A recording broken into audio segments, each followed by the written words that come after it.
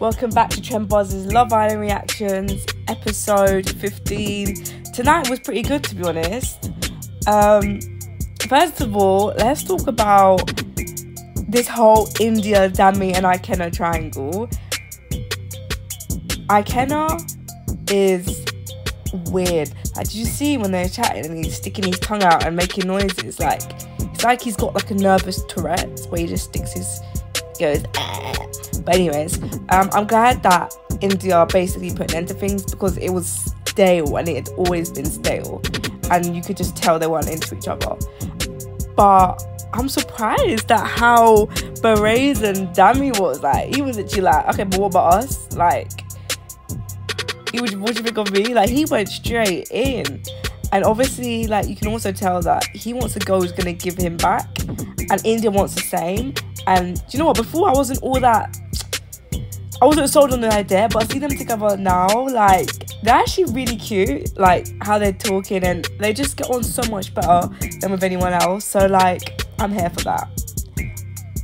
Like, but I do feel like he needs to do right the right thing and talk to Amber about it and like Kenna about it, and then proceed. Cause yeah, I mean, even if Amber's even here, maybe they'll both go home tomorrow, and then they won't have this problem but yeah, it was a bit, it was a bit, it was a bit cute. Like I'm a bit excited for potential what could happen between the two of them. Um, and even the way Amber was talking to Dami, like she was like, "Okay, just do it and stop talking." Like she's so rude to like everyone in such a sly way, and I've always seen that, and that's why I've never been a fan of her, and I've never bigged her up on here. But yeah, and then the argument with Ekin-Su. Okay, so first of all, Ekin-Su is actually like I'm loving the drama, but you know she's actually a snake because her man, like, like Jay confided in her, like, I think these girls don't like you. And then she went straight, and she was like, oh, really? Then went straight to the girls and was like, Jay's pissed me off. He said this, this, that. And we're like, this girl has loyalties to no one, bro. Not even herself, not even her mother. She has loyalties. And then like, Amber was being real with her. Um, which Amber's gonna be, isn't she?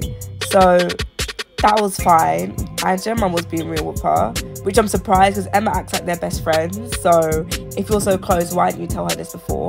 But yeah, anyways. And then Ekin-Su tried to flip it on Amber, get aggressive. And then when she got that all the girls weren't on her side, she then brought out the actress tears.